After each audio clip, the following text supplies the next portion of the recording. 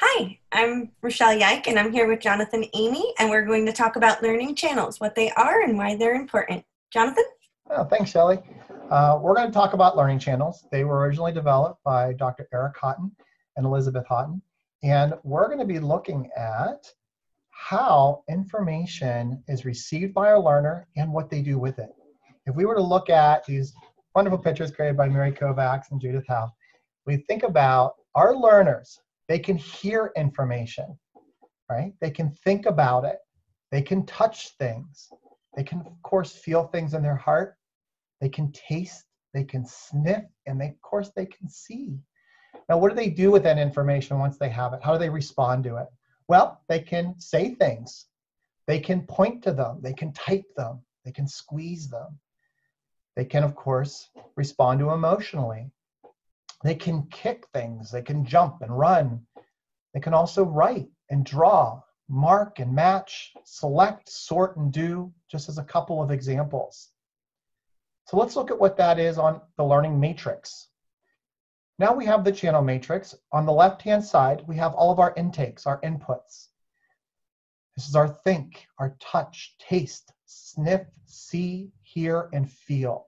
Now, on the output is where we write our verbs. These are the ways that our learner responds to the information. And these aren't the only ones. These are just some of the more commonly used ones that we have in education. But they could you could put in any verbs down here that work for you and your environment. Once again, we have some of the common ways like learners can say things, they can write things, they can point to things, they can do things, they can mark and match and sort, right?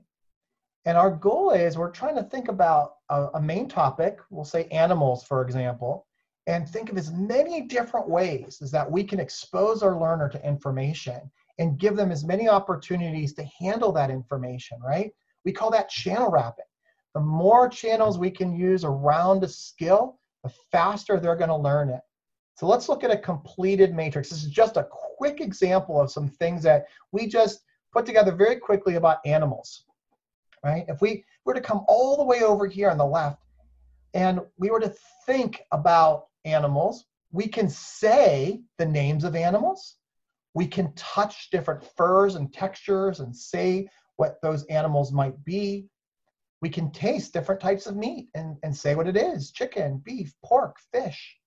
We can do the same thing with smell. We can sniff them and, and describe what we're smelling as it relates to animals. We can, or if you're feeling really adventurous, go to the zoo and see if you can pick out the different types of smells there. Uh, we can see, right? And we can label ob- uh, animals in terms of pictures of the actual animals and say what they are. We can hear sounds of animals and just and say what animals might say those sounds. We can describe our feelings about different animals. Yeah? And so that's just one channel of the say. But if we go down the line, we can see a whole bunch, right? We can write about names of animals and describe them in sentences.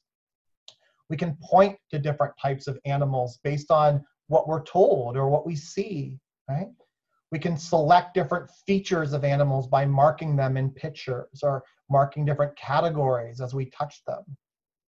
So this is just a completed matrix just to kind of give a quick idea of some of the things we can do. Uh, so I'd like to challenge you guys to think about how you would channel wrap any subject that you feel is important. Bring in as many of these channels you can, be as creative as you can. We're going to be posting some completed channel matrices over the next couple of days. And we're going to have some for math and reading. And of course, we're going to have uh, Elizabeth talking about some of the ways that she channel wraps some common academic subjects. So stay tuned uh, in the next couple of days for that.